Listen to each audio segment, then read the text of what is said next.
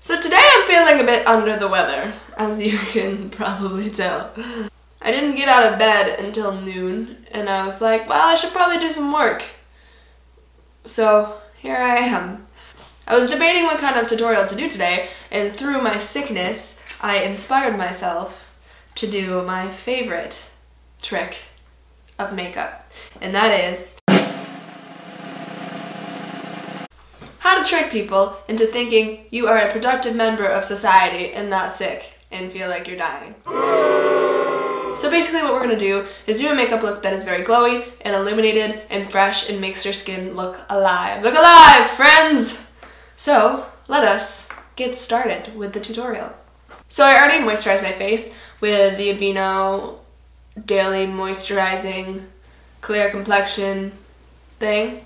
It's a moisturizer that I like to use. I'll link it down below.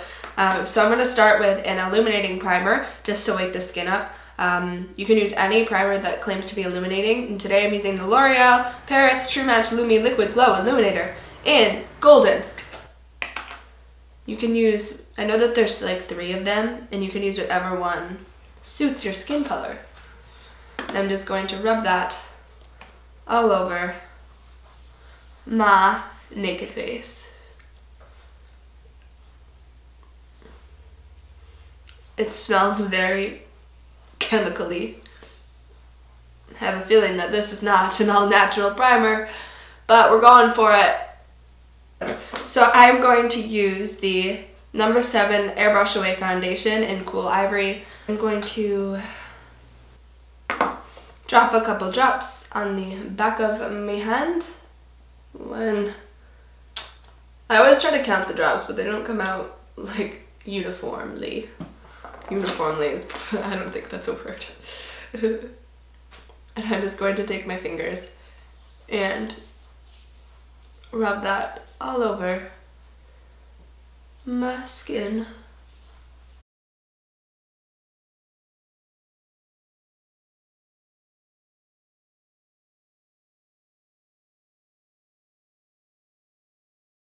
I'm going with the Maybelline Fit Me Concealer in 15 Fair. And I'm going to draw a large triangle underneath my eyes. Because I needs it today. Underneath my eyes, in the corner of my nose, any blemishes I have, on my chin, up on my forehead. I'm not skipping out today. And I'm just gonna take a blending sponge and blend it out. Blend it out. Push that right in to your skin. Don't rub it, pat and push and roll.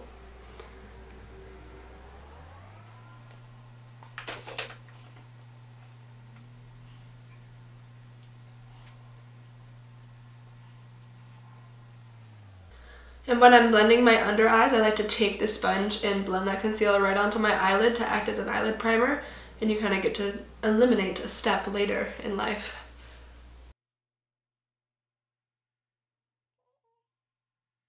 I spend a lot of time blending my face.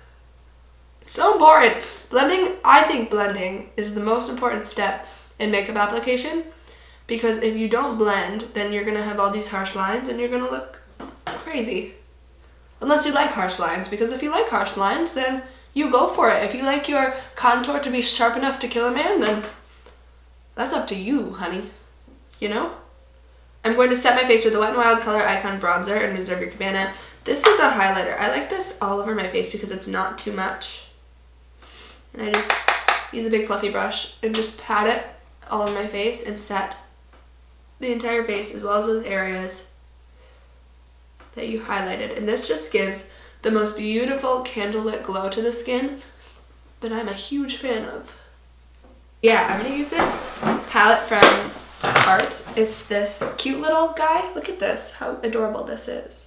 Can you even stand it? Oh, it is the Tarte Double Duty Beauty Eye and Cheek Palette. And it's in the shades Classic Courage. Comes with all these gorgeous colors. There's a blush, there's some eyeshadows, and they're all very pretty illuminating eyeshadows.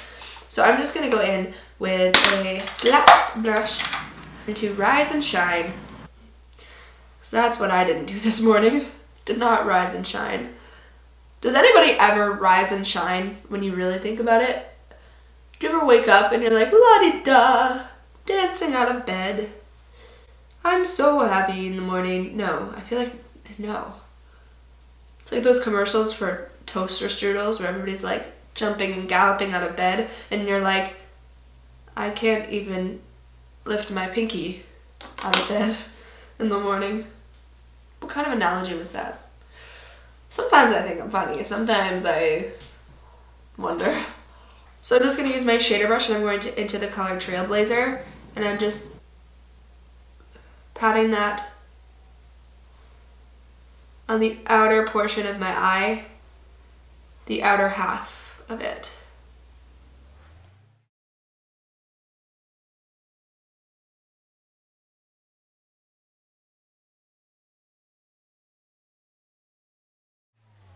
The one thing that I find is lacking in this palette is a transition color. I think these could act as transition colors if you have darker skin, but for me, I cannot use these. So I'm just going to take my trusty salted caramel color from the Too Faced Chocolate Bar palette and just blend up into my crease. So I'm taking that salted caramel color, bringing it up into my crease with windshield wiper motions and and taking that line that that color what was it was it trailblazer yes that trailblazer was and blending that together with that color and kind of creating a very very subtle and almost invisible gradient so now I'm going to take yet another flat brush and I'm going in with the color Rosy Outlook which is a very nice peachy rose gold color and I'm going to pat that onto the middle of my eyelid to add a pop of freshness and color. Now I'm going to line the upper waterline with a black kohl pencil. Just to work that in there. I'm to bring it into the inner corner of my eye. I can't not make a weird face when I'm doing this. I'm like, bleh. I'm to bring it into the inner corner of my eye.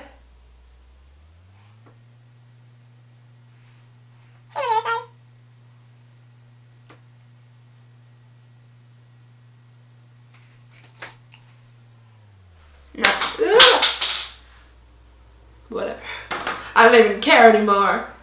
I am going to take the shimmer stacks from Bella Pierre, but you're just going to take something that's glittery and pigmented and put it on the middle of your eyelid. For another pop of color, just right into the center. Really concentrated. Oh yeah, there we go. Now we're working. Okay, go. You can skip the eyeliner if you want. You can just put mascara on. This will do a lot to awaken your eyes. Or you can use liquid eyeliner. I'm just going to take my eyeliner brush like this and hold it parallel to your face, to my face. And start in the center of your eyelid. Don't go in any further. And draw a little line.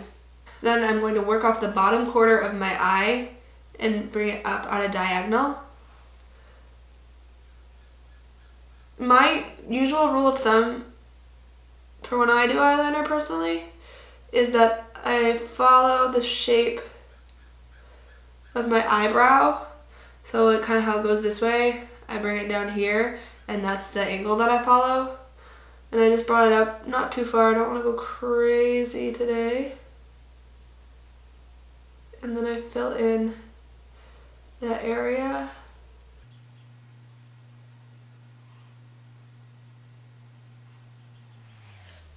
And there we have the first wing. Same thing on the other side.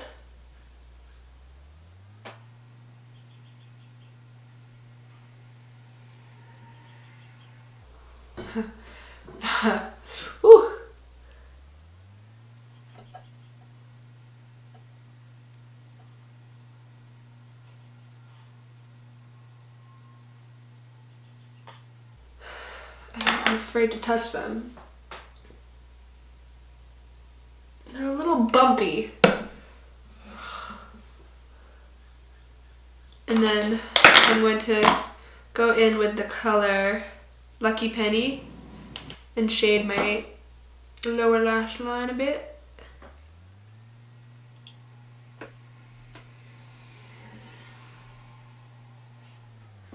I'm gonna put some mascara on. Using the Charlotte Tilbury sample that I'm holding on to for dear life and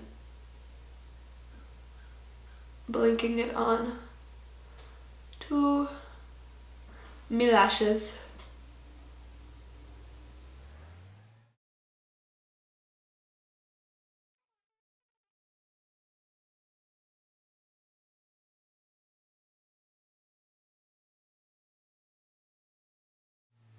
I'm gonna do my lower lashes.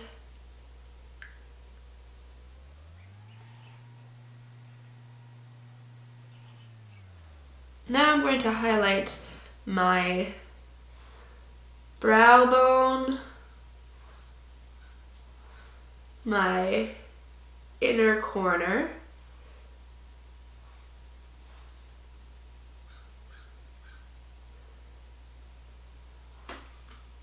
and I just use the color Blonde from the Gwen Stefani palette. You can use that same pigment or whatever color you used to highlight the center of your eyelid.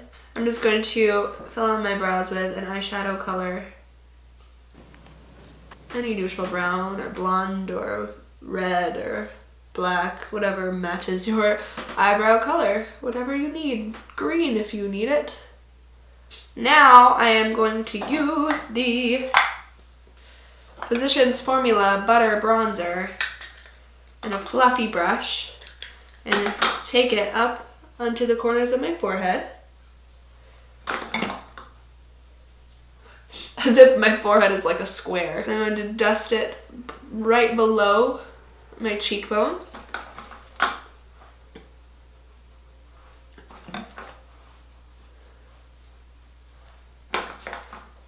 Below my jawline and onto my neck. And then anywhere that you feel you need it. Now for blush, I'm going in with the L'Oreal Paris True Match Super Blendable Blush in Bare Honey. And just taking a blush brush and going above that bronzer. It really isn't too much of a different color from the bronzer, but it really does warm up the face and give it a little bit of life without looking too dramatic. Now I'm just going to add a little highlight to the tops of my cheekbones. And if you have, it's whatever highlight you have. I'm using the, I'm to use a Laura Mercier um, Matte Radiance Baked Powder in highlight number one. And I'm just going to dust that on the tops of my cheekbones. Just gives the skin a little life without being overly dramatic. Down the ridge of my nose, uh, cupid's bow. I'm going to spray my face with some setting spray. You don't have to do this, but I'm doing this because you'll see. I got this tip from Kathleen Lights, and you spray on your finishing spray, and you go back in with your highlight, and it just over, just adds that extra oomph to your highlight. Because who doesn't want to look like a glazed donut all the time? I'm just going to do a very simple lip color and I'm using the NYX Liquid Lipstick Lingerie Lipstick, excuse me, in the shade Lace Detail. And the trick with these, I love these, but the trick is you put on a layer and you have to blot it out with your fingers.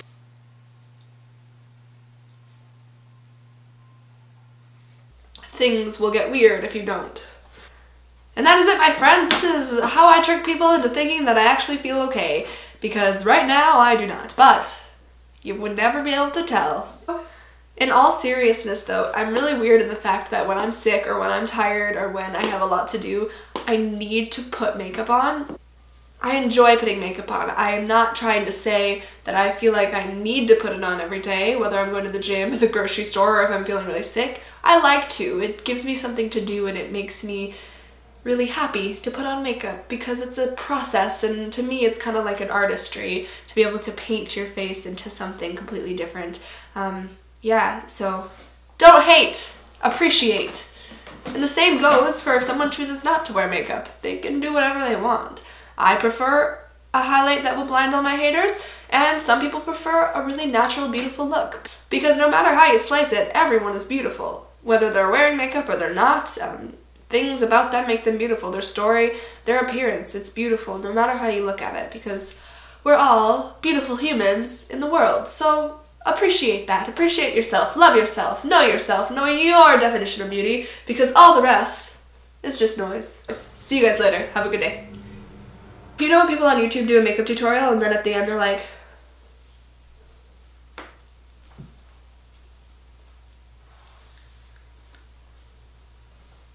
yeah, I can't do that.